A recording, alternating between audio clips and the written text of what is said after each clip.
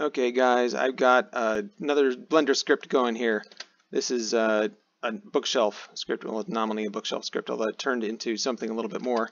So it started off as just a simple bookshelf script. You can change the parameters and stuff, and it's all uh, parametrically generated with a modifier stack, so you can move this stuff around and it does all the things that you'd want.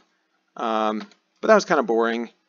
Uh, so then I added a randomize button so that you can randomize the stuff and make it a little bit more different, more different spacing, and then added a tilt button so the ends randomize differently, and it's just it's just scaling the randomization, so that's fun. And you can change the random seed, and it jumps all around. So that's cool, but it's not as cool as I wanted. So then I added the complex bookshelf, which is the same idea except it's a recursive subdivision thing.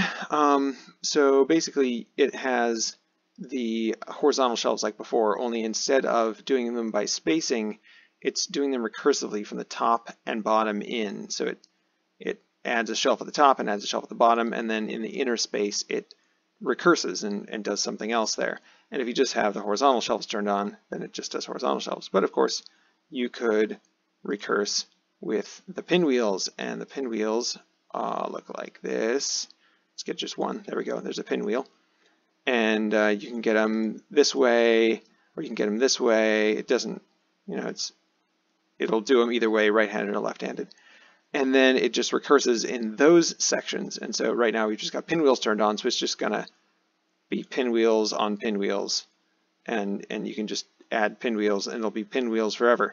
But you can also turn on both and then uh, then you'll have both and that's kind of fun. You can turn on horizontal fallback. Horizontal fallback basically means if it randomly chooses to use a pinwheel and there's and there's no room for a pinwheel, then it'll try horizontal shelves instead. So you can see there's a bunch of horizontal ones there. Turn off horizontal fallback, and then you've just got these gaps here where it tried to use a pinwheel, but it didn't work. Um, and then, of course, you can you know make this, what was it, 120 by 210 and uh, generates generates pretty quickly. Pretty quickly for all those vertices. This is what uh, three quarter, two thirds of a million vertices, and that was what maybe half a second. Let's just one. Yeah, it's about one second. About one second for for all those vertices, which you know that's not too bad. I mean, you could probably go a lot faster if it wasn't all running in Python, but it's pretty respectable. Uh, so anyway, that's basically the whole thing. You can you can make bookshelves. This bookshelf is way too big, and, and you can see that the um, it changes the modifier stack so that it doesn't do the the bevel if it's got too many, and then if it's got even more than that, it won't even do the, the solidify. So if we knock this back down to something reasonable, like 20 by 15 maybe. Uh, oh, it's still, That's pretty pretty snappy. Maybe. Yeah, that's.